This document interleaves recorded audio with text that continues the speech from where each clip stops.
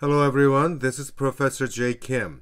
Today I'm going to show you how to align your nav bar to left, center, or right using Bootstrap in Dreamweaver.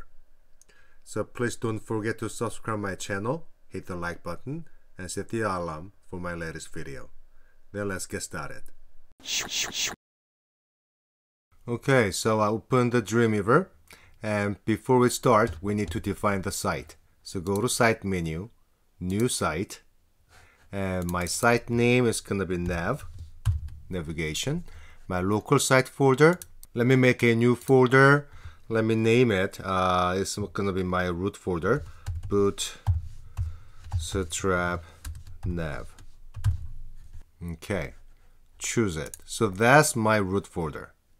Save it. Okay, now create a new file document type HTML, framework, Bootstrap, and then uh, Bootstrap CSS, choose the other create new one, and please uncheck include a pre-built layout. Create it. Okay, so now go to file, save as. I'm gonna save this file as index.html, so it will go to my Bootstrap nav root folder. Save it. Let me check my root folder. Bootstrap Nav. See? So this is one perfect uh, white blank uh, web page. Now we're going to insert the nav bar. So back to Dreamweaver. Okay, so select your body. You see that? And then please open the Insert tab. And in this Insert tab, there are uh, multiple menu options under this drop-down menu. Please choose Bootstrap Components this one. So um, your body area is selected. Choose container fluid because we're going to make a responsive website. See? So we have a container fluid. Place your mouse cursor inside. See that blinking cursor inside of your container? We're going to insert this time just a container. This container is going to be nested inside the fluid. So you're going to see that uh, container fluid, container as a kind of a hierarchies.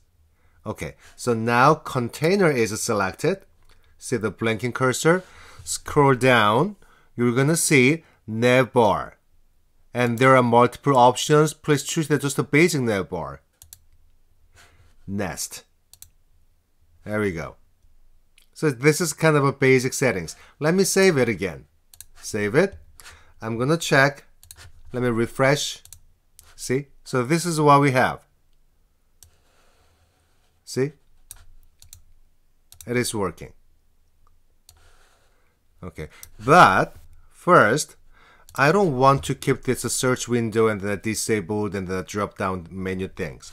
So what I'm going to do is, under your container, under navbar, you see that? Form I don't want to keep it.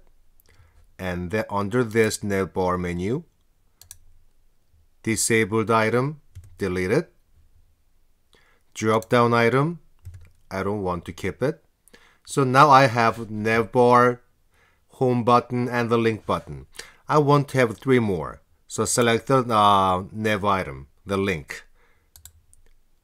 Hold down the control key, click, or right click. Choose the duplicated once, two, let me do one more, duplicate it. You see that?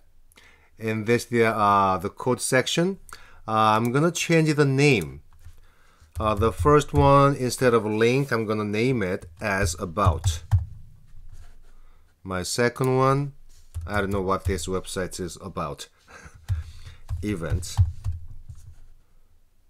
And the next one, I don't know, gallery. The last one, contact. Okay, let me save it. Now let me double check, let me refresh my web page. See? So this is what we have. So by default in Dreamweaver, you will see that the nav bar on the left and then a home about the, everything is kind of uh, aligned to the left. So now let's make some change. So first, in your uh, DOM page, choose the container. This. This is the whole thing. Then scroll down, you will see that navbar MR auto. So this will assign the other define the where to align. So MR, this is the margin on right. Let me try this. ML. See? It goes to the right. Let me save it. Let me refresh.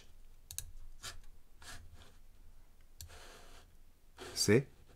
If you want to align center, instead of ML, try MX.